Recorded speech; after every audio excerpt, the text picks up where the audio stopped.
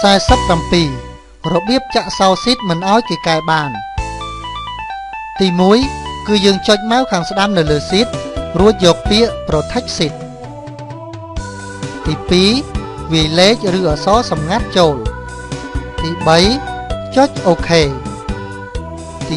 4វាយលេខឬអក្សរសម្ងាត់ម្ដងទៀតចូលក្នុងប្រអប់ទី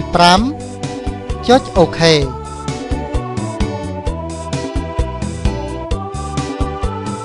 បើយើងចង់ដោះសោវាចេញវិញ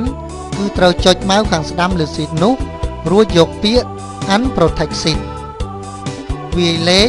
ឬអក្សរសម្ងាត់ចូល បន្ទាប់មកចុចអូខេ